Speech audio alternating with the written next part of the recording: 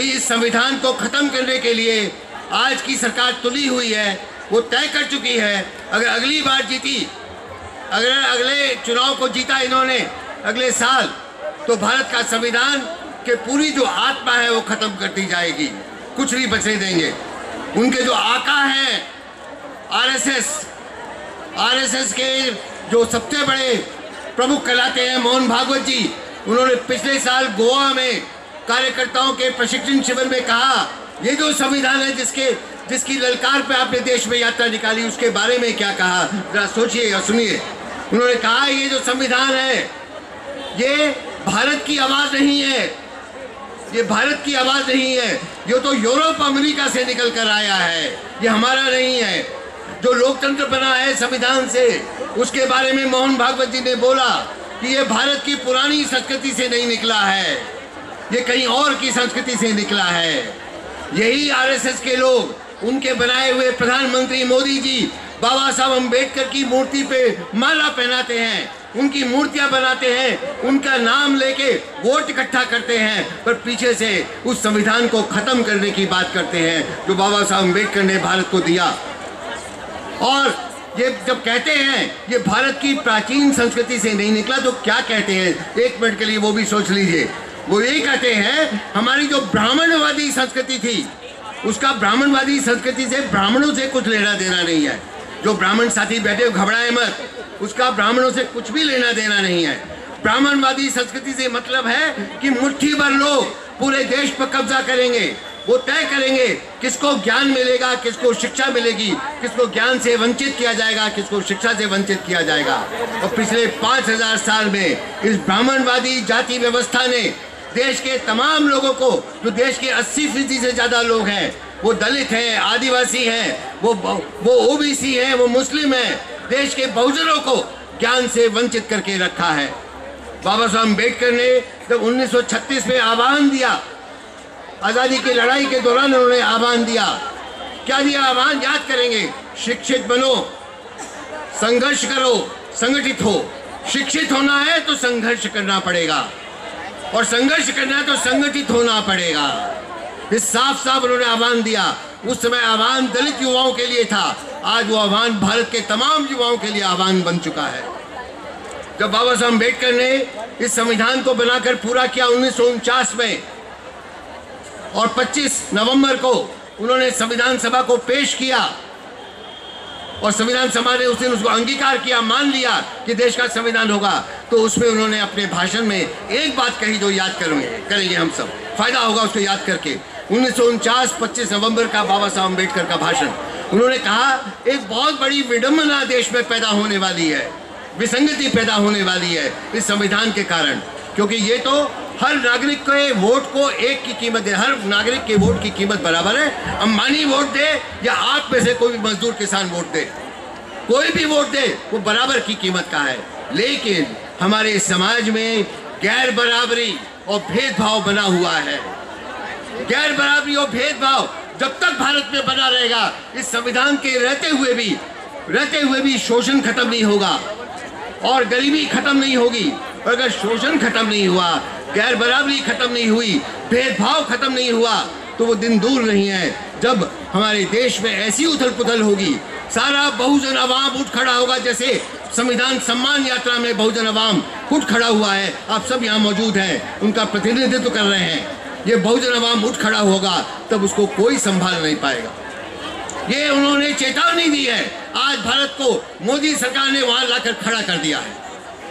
जिसके लिए बाबा साहब अंबेडकर ने कहा था, ऐसा होगा, मोदी सरकार ने कहा, लो, हम करके दिखाते हैं, बहुजन आवाम को इतना खदेड़ देंगे, इतना पीछे कर देंगे, इतना शोषण करेंगे, इतना वंचित करेंगे शिक्षा से, ज्ञान से, कि वो फिर उठ खड़ा हुआ है। आप उठ खड़े हुए हैं। हम बाबा साहब अंबेडकर को याद करेंगे और अब मैं आपके सामने समय कम है और मुझे कहा गया, जल्दी बात कहनी है तो इसलिए मैं ये बात करूँगा कि पिछले चार साल में जिसके बदौलत अगले साल वो चुनाव में आपसे वोट मांगने आएँगे।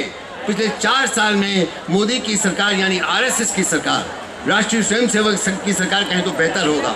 आरएसएस की सरकार ने क्या किया, क्या दिया, क्या छीना? इन्होंने भारत के संविधान का उल्लंघन करते हुए क्या क्या किया? इसके कुछ एक चंद बातों का मैं ज़िक्र करूँगा। जैसे ही इनके हाथ में सत्ता आई तो हमारे कई विश्वविद्यालयों में और कॉलेजों में भारत के युवा छात्र ये आवाज़ उठा रहे थे, उनके मन में जो बातें थी वो कह रहे थे। गरीबी हटाने की बात कर रहे थे, भेदभाव मिटाने की बात कर रहे थे, वो आज़ादी मांग रहे थे। तो क्या किया? मोदी सरकार ने इनको कहा, तुम देशद्रोही हो। उनके देशद्रोही का बिल्ला लगा दिया भारत के युवाओं पर, छात्रों पर। अगर भगत सिंह, शहीद भगत सिंह ज़िंदा होते तो वो यही करते जो जवाहरलाल नेहरू यूनिवर्सिटी जे के, दिल्ली यूनिवर्सिटी के, बर्दवान विश्वविद्यालय के, हैदराबाद सेंट्रल यूनिवर्सिटी के, तमाम इलाहाबाद विश्वविद्यालय के, बनारस हिंदू विश्वविद्यालय के छात्रों और छात्राओं ने किया। अच्छा और उनका, उन्होंने उस पर उनकी आज़ादी पर अंकुश लगा दिया। यानी भारत के संविधान का अनुच्छेद 19 खत्म कर दिया।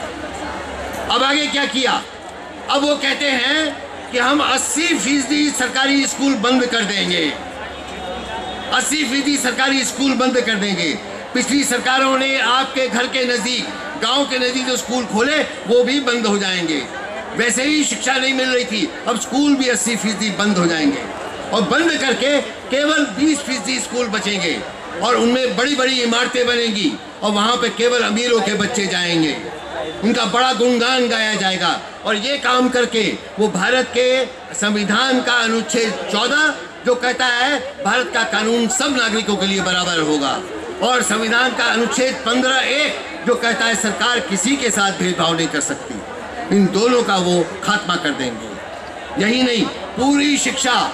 अब दुनिया के बड़े बड़े कॉरपोरेट इजारेदारों को, पूंजीपतियों को बेची जा रही है। बेची तेज़ी से जा रही है। और ये हुक्म कहाँ से आ रहा है मोदी जी को? ये हुक्म आ रहा है दुनिया के पूरे बाज़ार से। बाज़ार का हुक्म है। वो हुक्म है विश्व बैंक का, वर्ल्ड बैंक का। हुक्म है विश्व व्यापार संगठन डब्ल्यूटीओ का। उनके हुक्म की ताबेदारी कर रहे हैं। अगर ताबेदारी कर रहे हैं उनके हुक्म की तो भारत के संविधान में जो आज़ादी के समय देश को संप्रभुता दी गई, देश को, देश से तय किया देश की जनता ने, हम किसी और दुनिया की सरकार के नीचे नहीं आएँगे। वो एक बार फिर दुनिया की सरकार के नीचे आ गए और देश को गुलाम बना दिया इस सरकार ने। गुलाम बना दिया है। अब हमें लड़ाई लड़नी है, अपनी गुलामी खत्म करके, दोबारा आज़ादी स्थापित करके, बाबा साहब अंबेडकर के संविधान को एक बार फिर पूरी तरीके से धरातल में उतारने की। ये लड़ाई आपकी संविधान सम्मान यात्रा ने लड़ी है। तो हमारा अखिल भारत शिक्षा अधिकार मंच क्या मांग कर रहा है? किस बात की लड़ाई लड़ रहा है?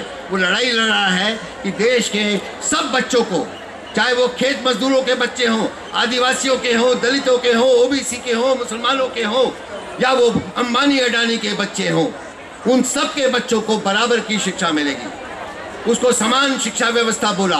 केजी से लेके पीजी तक, नर्सरी से लेके पीजी तक, यानी यूनिवर्सिटी तक, मेडिकल कॉलेज की शिक्षा, इंजीनियरिंग कॉलेज की शिक्षा, मैनेजमेंट की शिक्षा, पूरी तौर पर मुफ़्त होनी चाहिए। एक पैसा फ़ीस नहीं लगनी चाहिए। एक पैसा फ़ीस नहीं लगनी चाहिए। किताब हो, कॉपी हो, सबकी कीमत सरकार अदा करेगी।